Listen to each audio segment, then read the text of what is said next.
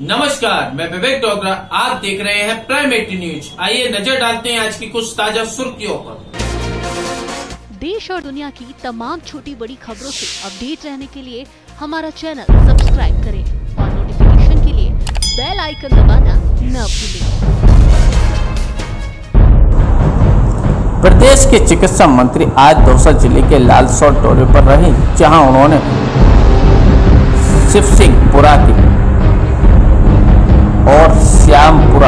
कला गाँव का तीन करोड़ रुपए की लागत से बने प्राथमिक स्वास्थ्य केंद्र के नवीन भवनों का लोकार्पण किया। इस दौरान रघु शर्मा के साथ क्षेत्रीय विधायक और उद्योग मंत्री प्रसादी लाल मीणा भी मौजूद रहे। चिकित्सा मंत्री रघु शर्मा ने कहा, सरकार प्रदेश की जनता को बेहतर स्वास्थ्य सेवाएँ मिलें, इसके लिए अच्छे से अच्छा काम कर रही है। दौसा से दीपक सैनी। देश और दुनिया की तमाम छोटी बड़ी खबरों से अपडेट